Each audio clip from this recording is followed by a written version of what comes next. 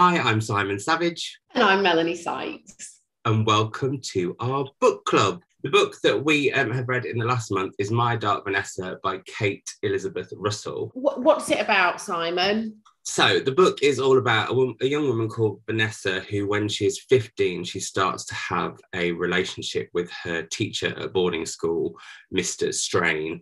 And we then move to, well, we go from 2000 to 2017, where he has been accused of sexually assaulting a um, a student, um, and so it all comes to the fore. And it's kind of she's almost at one point asked if she will come forward, but she's clearly I don't know how to put it. Actually, she's been so groomed, I guess, and genuinely thinks she was in love with him that it looks at whether she feels that there was it was consensual or not her recollection of it is that it was love and it was a relationship. And she's having to re-examine that feeling and was it actually abuse? And and it's it's a fascinating read actually. I don't think i realized this book would take me on such a journey emotionally moralistically all that. How did you find reading it? Well, the first thing that came to mind was I think I've read something similar to this before. And it was Three Women. You know, the book Three Women. One of the storylines in that book is pretty much this novel.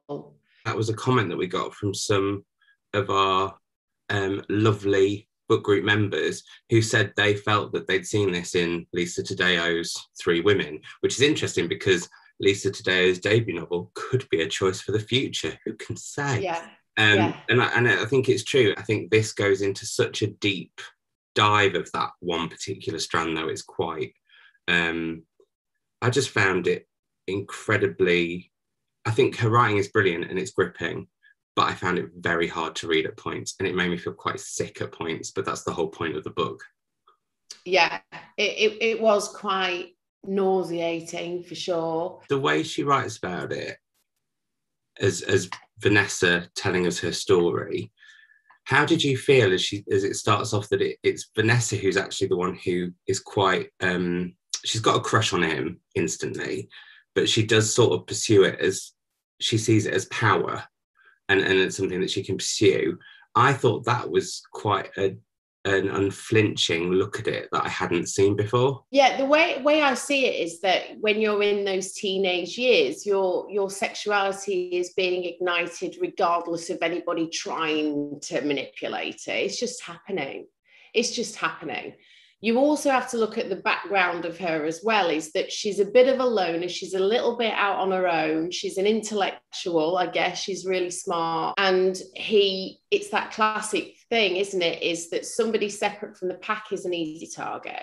So he's identified that she's alone and zeroed in on her and she's she's smart and really clever and really can connect with him on those levels. She's like the perfect victim for him in a way. And and she feels really validated by him because she's not really getting it from anywhere else either. So his choice is perfect really and she's just a 15 year old girl and having somebody tell her amazing things about herself she's feeling good she's feeling admired she's feeling sexy and and so that's all wrapped up in it, it it's um it's really frightening actually that that and that can and does happen yeah, and and I think the bit that I found particularly disturbing is that as as we meet Vanessa, she's saying about how she has this crush and she does follow him and she does go and like check out his house and all that kind of stuff. But he has we find only out- once he starts only only once he starts giving her vibes does she start checking him out. As it went on and you were in her mindset, you'd sort of occasionally think, oh, maybe this is a, a, a consensual relationship, and then he'd do things like call me daddy or You're My Little Girl. Honestly, it made me feel it's like I was reading it, you know, when your stomach drops. I thought that the way Kate Elizabeth Russell wrote that was really impressive. Yeah, because I think what what if you're writing it, you've got to, he's obviously got something wrong with him and, and his guard drops. So he's a predator and he's playing it really, really well until he can't help himself. Um, and I guess that's how these people they can't keep that front up the whole time. So every now and again, the fact that they're a little bit twisted will come out. Did you find that she does that really well in balancing how you have those moments where you forget that she's so young and he's so old, and then suddenly she. I didn't. Right. I never. I I never forgot the the difference in age once. Um, I, I sort of saw it for what it was a, a, girl who's enamored with somebody that she likes and respects, but she's also a little bit confused about what's happening. That I found so hard to read. That can I do this? And then he's asking it when he's already done stuff. But then also there's the scene when I don't want to spoil it or get too graphic in this video, but um, where he literally just does it. And and that's where I think she played, she wrote it so well because you would those bits still shocked me, even though I was sort of already shocked. Yeah, yeah. Well, they would do because that's those are the brass tacks of abuse, aren't they? So the grooming is one thing, and then the actual getting to be in the moment and and do the act. It it is shocking it's absolutely awful. And it doesn't and, and as a and also a 15 year old mind and your survival um your natural survival kicks in you have to work it out to normalize it because it's actually really shocking. I mean when you're having consensual sex for the first time it's it's a bit like oh man like you you're, you're processing what's going on even though you absolutely want it to happen. So so it's it, it's kind of it was it's well it's well written for for definite. There's a point he makes actually about being 15 when you're sort of at the end of you're not at the end of being a teenager, but you feel like you're on the cusp of being grown up. And I think that that Kate Elizabeth Russell looks at that really, really well. This is a book that I think makes us ask a lot of questions in our own head as we read. Because you're asking them on behalf of Vanessa, I guess, in a way. Like, for example, there's that time when um, she knows while she's having sex with him that she doesn't want to have sex with him and she's actually questioning if she's being raped as it's happening. Like and then there's another point where she goes oh well it wasn't rape rape. And i just think that again it, it it makes you think about it so much and it's so she really puts you in the mind of vanessa at 15 but then I wonder if that's because I was so embedded in it that I was also forgetting she was 15 because I was thinking those thoughts. I was processing those thoughts in my brain. Does that make sense? As a yeah, but I, I, I actually think it comes from a. I think identifying her as 15 comes with what you were doing when you were 15, and I was a very young, immature 15 year old. So, and I didn't have any relationships with boys. I, my first boyfriend when I was 17, and those two years are massive in my maturing, etc. So, I guess my 15 year old self was that. And so I'm reading it in terms of how I was, and it's you know, I can't imagine what it must be like to have some teacher that you admire all of a sudden telling you you're amazing, you're clever, you're you're this, you're that, and I really want to do this and that, and you know, it's it's I so I couldn't forget how innocent she would feel, and also how nice it must feel to get those sorts of comments. I guess you your barometer is how you were at 15. I was quite drunk at 15 and quite um, promiscuous at 15 so it's a different it's a different mindset for me. But also i, I you know i don't want to say oh um, i was a man and she's a woman because i don't that i think is beside the point when you're that age. Um, but it but it is what we bring to a character. So i think I was kind of thinking, well, I remember feeling certain feelings that she was feeling or being open to suggestion at that age. And I think that's an area that she looks at really interesting, like how it only takes a small moment of being open to suggestion to literally blow your mind, blow your world apart, and everything change. I, ju- I just think she does it incredibly um, deftly. And also, I just thought it was this this question of Vanessa constantly thinking, was it love? Was it abuse? Was it not? And and how that plays with her as the book goes on. Yeah, but I think that I think 15 is like the perfect age for that confuse, confusion. I'm so glad that my youth very much was a youthful existence you know and i'm i feel really blessed about that now at the time you feel like the odd one out that you're you know you're just not keeping up with the others. But actually it's it's a real blessing. Um, but even if somebody who's 15 and promiscuous does not mean that anybody can come in and abuse you but that's no. these abusers don't target girls like that. They target girls like vanessa. One other thing that she does brilliantly is look at trauma and how trauma can suppress itself and when it chooses to reveal itself there's one point she talks about um, how vanessa will be triggered just by a flannel sheet it might not be something big in the news, although the news story is pretty big and, and, involves her, but it'll be like, or if somebody compares what were the plants, the leaves, the red leaves, if she sees those, she starts to think of compliment. And that bit as well, it's the little tiny things as well as the huge moments. And I think that's something that I hadn't seen discussed before.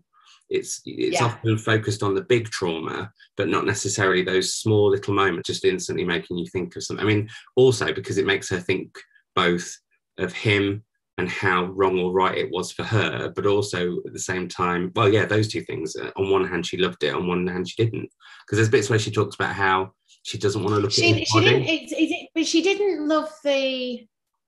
She, I guess, she liked the idea of it as opposed to the reality of it. It seemed like, you know, the idea of having a relationship and being loved. She was addicted to the feeling of being important to someone, not the actual acts and all the rest of it. No. One of the questions that we got from um, one of our viewers who was saying about um, how believable did we find the school and the teachers' responses?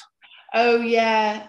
Yeah. This is only, and this is 2001, isn't it? The abuse is set. Yeah. So maybe we weren't talking about it as much then. And maybe he was so valuable to the school and yeah, it's interesting that she had to say, it's all my fault. I created a problem, therefore I shall go. Um, I don't think that would happen now. No, I hope it wouldn't happen now. Um, I think it, one thing about the time, I did find the setting of the book really interesting because she does look at popular culture as you're reading on. So you hear like about Britney Spears is quite a reference throughout the book, and and both her as being this almost seen as Lolita. We'll come to Lolita a little bit later, maybe.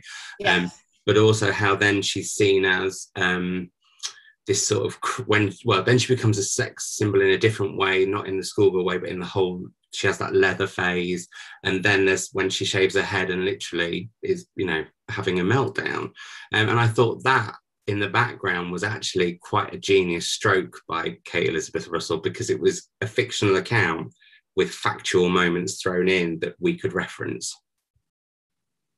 Yeah but actually then we sort of know now about Britney Spears' experience during that time as well. And, and, I, and I suspect, and people really know this, is like her leather phase was a record company yeah. thing for sure. I think a school outfit was a record company thing from the Of course it was. I mean, that's how this is what we're dealing with, you know, like this the the image of somebody is not what is going on inside. It never ever really is unless we are being extremely authentic to the core, which I think people are doing more and more now. People are not scared of voicing their opinion about things anymore, and thank goodness for it. But we are talking of decades of people being manipulated, being silenced, um, and it's all changing. Thank God it's changing. Yeah. Yeah. But going yeah. on to Lolita, did you you've read Lolita, I'm presuming? I've never read Lolita. Oh my gosh, right, okay. Have you seen, you've seen the film with Jeremy Irons? No. Yeah. I've not lived. no, but, but it was only because I, when I got to about thirty, I, um, I, was thinking, do you know what? I haven't read any of the classics. I, ha- I don't. I haven't. Or probably late twenties, I started to read the classics, and, and Lolita was one of them, and that is referenced in this book uh, uh, as we go. Yeah. And it's because the teacher gives it to her to say because it's it doesn't glamorize having underage sex but it certainly wraps it up in love i sometimes found that reference a bit heavy-handed like oh you've read lolita he gives a lolita that to me seemed a bit too obvious but also there was the whole thing when then he brings up nabokov is that right again yeah with that poem which is my dark vanessa and i was like we get it we get the reference you don't need to keep I don't know. I, I found that just a bit occasionally heavy-handed. Yeah, interesting. Actually, it might seem out of the realms of possibility, but actually, pretty smart move on his part. I didn't think it was out of the realms of possibility. I think it's when it kept happening. I think it was the fact that we had it with the Lolita, then we had it with Nabokov. Then she mentioned how I think Vanessa knew that Poe was writing a poem to his cousin who was 13. And I was like, okay, you're really laying on the literary heritage of this a bit thick. I don't know. It was just. But a- he's in English. No, no, I get you. I, I get you. I, I, didn't. I just thought. I just thought it was quite interesting. I mean, I haven't read the my Dark Vanessa poem. I just think because he was an English teacher and she was a good English student, that the book's stories I think is okay and acceptable. I, it didn't.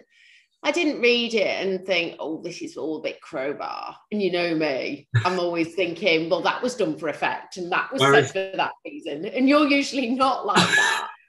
and I've switched. I've turned into Crowbar Savidge. Spending so much time with Crowbar Sykes. Oh yeah, but sorry about that. A lot of the questions that we got sent from our lovely fellow book club members um, was around the likability of Vanessa, and it's something that gets my goat mm. because I don't think you have to be likable to have been through horrible things. Yeah, absolutely. And I wondered how how did you feel about Vanessa because she is a very complicated character. I I, I, my heart went out to Vanessa. Um, I I can't believe what she'd been through and and really the abuse continued and i guess that he just kept it going because he wanted to keep her sweet and wanted to keep her quiet and keep her believing but ultimately he wasn't really interested in her. She was just great cover for any emerging stories. I just felt sorry for her. I, I really did. Um, and i didn't i I don't, yeah, like you said, I don't think you have to really dig somebody and like the personality for a book like this, it's kind of irrelevant. Um, her experience is what is, is important and how she'd um, processed it in order to survive. What did you think about the whole Henry situation? Because we should say that I don't want to give too much away for those people who haven't watched it yet, but uh, watched it yet. It feels cinematic. That is one thing I did. I did feel like I was watching an HBO series. Yeah, yeah, I could absolutely visualize it for sure. Yeah. I mean, it's like even when we're talking about it, I, am right in houses, I'm right in the schoolroom. It's just really like that, isn't it? But anyway, go on. What were you saying? Um, I was just saying, oh, um, because so basically she does kicked out of school we don't see it like that as the reader, but that's how everyone else sees it. Um, and then she she ends up going to another college where she meets another tutor called Henry, and I thought his character was really interesting and multi. Every character in this book is multifaceted and flawed and all those kind of things. And actually, I would say he's almost a good part of the book, but even he has a moment. Yeah, I, I, didn't really see that coming in a way in terms of him being just a really not cool teacher. But then you find out that he married a student and actually he's favorite he's he's sort of favoriting her a little bit and you're like, oh no, here we go again. But I didn't know what what did you think the point of bringing him in and doing that scenario was all about do you think because somebody was written to us and suggested that was that all a dream, which I don't think it was. But like, what was it? What was the point of it? This second wave of potential another abuser. Well, yeah, because I was thinking about because it was Priya that asked that question, and I thought it was interesting the fact that I think I don't know whether we were supposed to be slightly wrong-footed by him in the fact mm-hmm. that he was so kind of stuff, and then because then he flips at one point and says, "Well, you've come onto me so strong," and she's like, no, I haven't. I, but but I don't know whether that was supposed to throw us again, or whether he was meant to be. We were meant to read him as being a genuinely cool, lovely teacher who was interested, but took that interest a bit too far in a different way uh, when he meets Strain. Um, I couldn't quite work that out. But then I was. This is, sounds like a really lazy answer. Part of me was like, "Am I meant to understand that, or is that meant to be the whole point?" Am I meant to be left questioning? Not everything can be you know not every character or moment in a book can be neatly tied in a bow Well, actually, as we're talking, I'm thinking that maybe it's just another way of showing mild, potentially abusive behavior. Like, there's something off kilter about him Googling her and reading all these blogs. Would a teacher do that with good intention, or are they just titillated by the fact that one of their students? I think anyone that does that is dodgy. You know how sometimes you'll meet people and they want to find out loads about you really, really, really, really quick. I find that a bit off putting. So I'm like, chill out, let's just get to know each other. Like if I make a new mate, I won't say, oh, I've got a YouTube channel because I don't want them to go off and decide what they think I am from it. Do you know what I mean? Yeah. I do. I don't Google anyone. I don't. Go- I've never done that. I hate the idea of it. Only and predominantly is because if you Google me, you're going to read a load of shit that's not true. So I suspect that's the same for everybody. Yeah. So I don't do it. I think the most honest ways of looking at any anybody really are looking at them on Instagram and seeing what they do. And we're starting to really see now that people are becoming more authentic on their Instagram accounts as well, because it, it creates too much pressure to be perfect, and nobody is. Chris Cairns wanted to know what was our initial thoughts when Strain kills himself. Right, what was yours? Because I, I, I just think, uh, yeah, go on. It sounds really weird. I'm gonna say it sounds really odd. I just felt a bit um oh. That's how literally how I felt when it happened. Oh, right. Because I didn't care for him. I kind of was a bit cross because I wanted him to get his just desserts. That's how I felt about it. But I, but overall, I think because I was so with Vanessa, although she grieved, so I, but I did just kind of do a bit of an oh, oh my god! So I did, I did similar, I guess. I want this man to get his comeuppance, and so it was a oh no! I wanted it the resolution of the of the book to be a little bit more of him being held accountable and getting his getting his. yeah. And um, it was an oh no from me and an oh from you. I think it was weird because because it doesn't happen because it sort of happens sort of almost two thirds of the way through, halfway through ish that area. It also then made me sort of as I went on think, not that I how can I put it? I suppose it just made me think, well, how is this going to resolve itself full stop then? And I think that does kind of lead, and some people asked us about the ending and how we felt about the ending, because I think some people didn't find it necessarily a satisfactory ending. Why? What? Because she feels she's gone through the process. She's worked a few things out. She's sorted some issues out with her parents. She gets a dog and she she starts getting a life back. In terms of the people not potentially being happy with the ending and it, nobody gets exposed, nobody gets their just desserts. No, unfortunately, that is probably what's happened to lots of these. That's real life. And that's life. Um, but i think it will it is going to change and it will change and these books will help that happen because they shine a light on a problem. But it is at the moment i think it happens to people. People get away with it. People have to learn to live with it and and get to the other side of it. But actually more needs to be done around these things and more has been done around these things. I felt hopeful that although she was by no means sorted in any way, and I hate that term that you have to be sorted, but um, there was there was we were left at a point where she had peace and was calm. That's how I felt about it, and I thought that was a really deft way of finishing the book.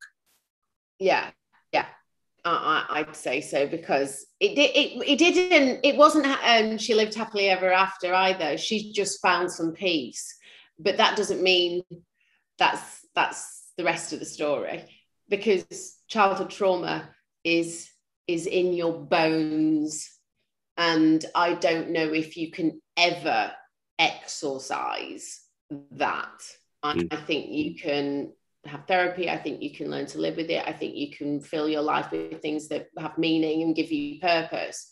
But trauma, it, it's it's an affliction.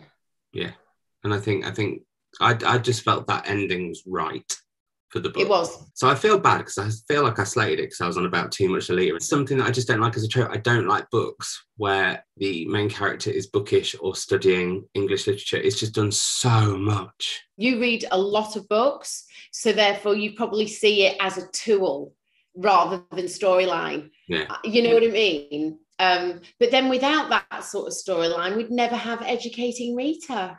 Oh my god, and that's amazing. And we can't have a world without educating Rita, can we? That is something I fully, fully concur with you on. Massively.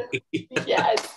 And interestingly, in that scenario, you wanted them to be a couple. I mean, they were the same age, so it was absolutely fine. So that's Yeah. just different. But you kind of you were begging for them to have a conclusion in that way, weren't you? And it just never happened, which is why it's so beautiful and bittersweet that that film. People Anyway. seen it, they need to go and see Educating Rita because also it's like a joyous antidote to this book. Yes, it is a, exactly that, isn't it? Yeah, yeah, yeah. No, it's absolutely one of the best thing, best films ever made. Would Would you recommend it, Melanie? I would absolutely recommend this book. I think it's an extraordinary and important read. I, I can't say I enjoyed it. I'm very glad that I read it. So, next up for April, we are going to be reading Naoise Dolan's Exciting Times. This book is all about Ava, who moves to Hong Kong from Dublin, where she meets a banker, I think called Jake. Um, they start a relationship. He go he travels for business, and while he's away, she meets a woman who is a lawyer who she starts to have a relationship with. So I think it's going to be quite intriguing. Get it read by April the 18th. A video should pop up around that time. But as always, Melanie, it's just been a treat. Till next month, it's goodbye from me. And goodbye from me. Bye.